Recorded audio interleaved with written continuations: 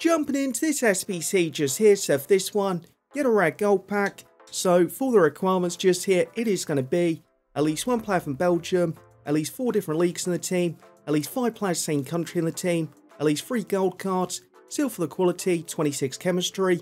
So to get the chemistry, all you want to do, just pick up nine players from the same countries. When doing this, pick up eight seal cards, one gold card.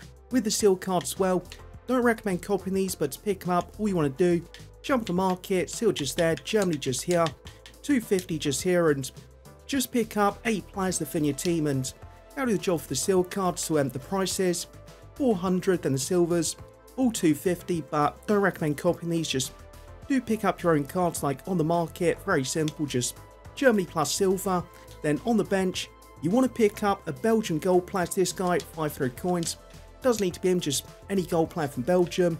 Then the final card, just any gold card, 400 coins. And that completes it.